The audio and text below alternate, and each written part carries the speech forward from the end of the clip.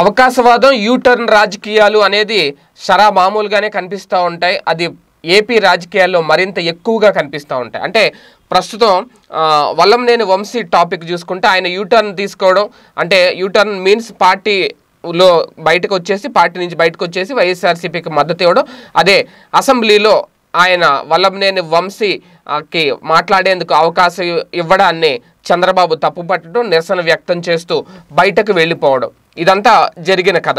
అయితే రాజకీయాల్లో ఈ అవకాశవాదం అనేది యూటర్న్ అనేది కామన్గా కనిపిస్తూనే ఉంటాయి వినిపిస్తూనే ఉంటాం. ప్రతి పార్టీ నాయకుడు చేసే పనే అది.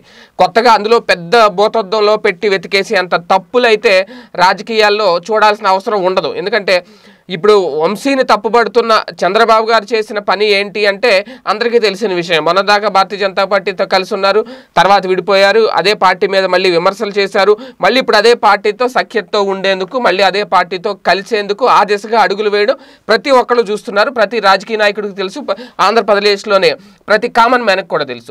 అయితే ఇలాంటి టైంలో వల్లభనేని వంశీ గారు ఆయన పార్టీ నుంచి బయటకు వచ్చేసి ఆయన వైసీపీకి మద్దతు ప్రకటించినప్పుడు అసెంబ్లీ సభ్యుడిగా ఆయన ఉన్నాడు. ఎందుకంటే అసెంబ్లీ సభ్యుడిగా అసెంబ్లీ సభ్యత్వానికి ఆయన ఇంకా రాజీనామా చేయలేదు కాబట్టి ఆయనకంటూ ఒక సీటు కేటాయించారు.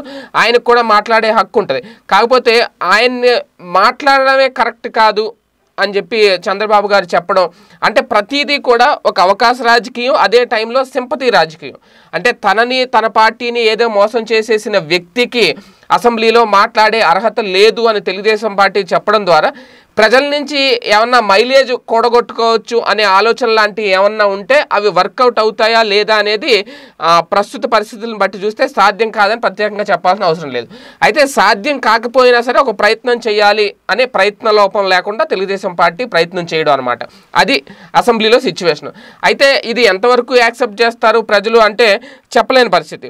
కాకపోతే ఏంటంటే ఇదే టైంలో యాక్సెప్ట్ చేస్తారా లేదనేది పక్కన పెడితే గతంలో తెలుగుదేశం పార్టీ ఏం చేసింది అనేది మాత్రం ఇప్పుడు చర్చకొస్తుంది. అంటే ఓకే అది రావడానికి కారణం వైసీపీ నేతలు అనుకోవచ్చు లేదంటే వైసీపీ కార్యకర్తలు అనుకోవచ్చు జగన్ అభిమానులు అనుకోవచ్చు. అదంతా పక్కన పెడదాం.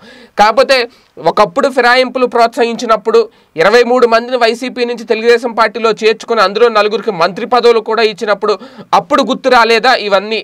అప్పుడు రైట్ అనిపిస్తే ఇప్పుడు రాంగ్ ఎందుకు అనిపిస్తున్నాయి అని తిరిగి ప్రజల నుంచి ప్రశ్నలు వస్తున్నాయి తప్ప అయ్యో పాపం అని చంద్రబాబు మీద సింపతి కానీ జాలి కానీ ప్రజల్లో రావట్లేదు అనేది ప్రస్తుత పరిస్థితుల సారాంశం. మరి ఇలాంటి ట్రిక్స్ తెలుగుదేశం పార్టీ చేయడం వల్ల ఆ పార్టీకి కలిసి వస్తుందా లేదా అంటే ఇంకా అది ప్రజల తీర్పు మీద ఆధారపడి ఉంటుంది. చూద్దాం ఏం జరుగుతుందో. స్టేట్ మీరెక్కడున్నా ఏం చేస్తున్నా ప్రపంచంలో ఏం జరుగుతుందనేది ఇప్పుడు మీకు పెట్లోకి తెచ్చేసింది one line app political movies రాశి ఫలాలు ఆరోగ్య సలహాలు సీరియల్స్ విశేషాలు. ఇలా ఒకటేమిటి? బోలెడన్ని విశేషాలను మినిట్ టు మినిట్ మీకు అందిస్తుంది one line app so late ఎందుకు? డిస్క్రిప్షన్లో ఉన్న లింక్ ద్వారా వన్ లైన్ యాప్ డౌన్లోడ్ చేసుకోండి. One line it's for every